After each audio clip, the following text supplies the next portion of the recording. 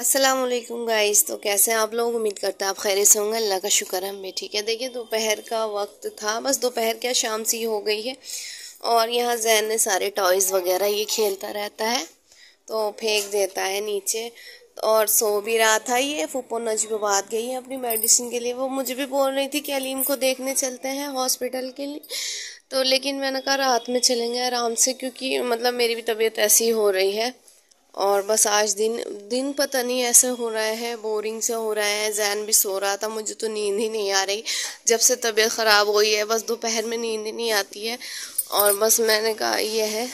मैं बैठी हुई थी, फिर भाभी के पास गई ऊपर, और मैंने कहा, ये बालकनी में थोड़ा सा देख लेती हूँ कि मतलब रौनक सी अगर नज़र आ जाती तो थोड़ा अच्छा सा फ्रेश सा फील होता है। तो देखिए, माशाल्लाह, क्योंकि अक्टूबर का ये महीना है तो इसमें बहुत ज़्यादा ही शादियाँ वगैरह रहती तो रौनक हो रही है। चारों तरफ़ ये है कि भीड़ आ रही है, कपड़े वगैरह की शॉपिंग वगैरह चल रही है, लेकिन हमारे यहाँ पर चारों तरफ़ से ऐसी मतलब ये है, ख़बरें आ रही हैं, तबीयत ख़राब की टेंशन है तो हम लोगों ने तो इतना कुछ वो नहीं किया। और बस अभी बैठे हुई थी मैं। पौने पाँच बजे का वक्त हो गया। सर की भी नमाज़ अब पढ़ेंगे इन और देखिए, बस जैन भी सो रहा है अभी। तो गाइज़ अब जो है, हम लोग जाने लगे थे हॉस्पिटल के लिए अलीम, क्योंकि चार दिन हो गए हैं अब। और वैसे अल्हम्दुलिल्लाह, अब तो तबीयत ठीक है। तो सेंट मैरी हॉस्पिटल में एडमिट था तो मैंने कहा यह है। कि हम लोग उसको देखने के लिए जाएँगे। तो अजीम भाई तो अभी कहीं से आए थे तो चाचा लेकर के हमें जा रहे थे, बस रास्ते में थे। और दोपहर में मैं पुप्पो के साथ भी नहीं गई थी तो इसीलिए जैन की वजह से मतलब ये रिक्शा वगैरह में ज़्यादा परेशानी सी हो जाती जाने के लिए गर्मी में। तो मैंने कहा यह अपनी गाड़ी है तो घर में उससे ही जाएँगे।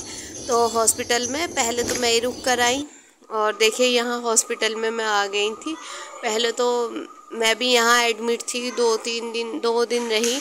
और अब देखिए, रात का क्योंकि वक्त है तो ज़्यादा यहाँ भीड़ भी नज़र नहीं आ रही थी। अब्दुल्ला और अयान भी हमारे साथ में आए, ये विज़िट कर रहे थे बच्चे।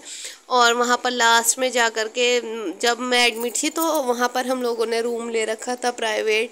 वो भी वीडियो में आपको थोड़ी बहुत जो है शेयर करके दिखाऊँगी। कि कैसे दो दिन बीते बहुत, अल्लाह बस किसी को भी हॉस्पिटल में ना भेजे, सबकी हिफाजत रखे, सब लोग दुआ कीजिए अपने लिए भी और अपना ख्याल रखें।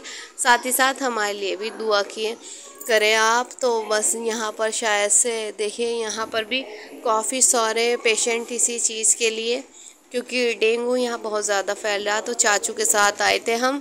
यहाँ बैठे हुए हैं और अलीम बस लेटा हुआ, अभी तो इसकी फ़िलहाल ड्रिप कंप्लीट हो रखी है।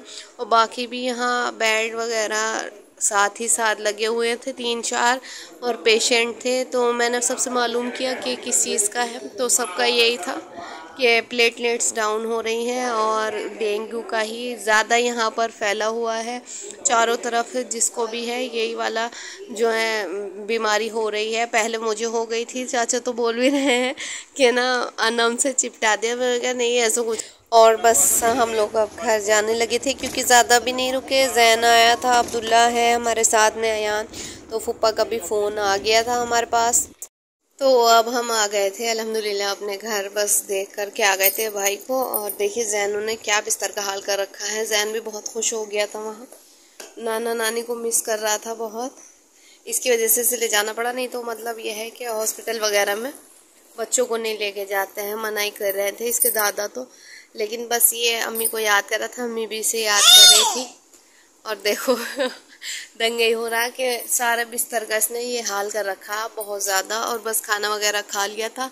वीडियो बनाने का अब इतना ज़्यादा मन ही नहीं हो रहा, लेकिन बस आप लोगों के लिए कि यह जुड़े रहे हम एक दूसरे से।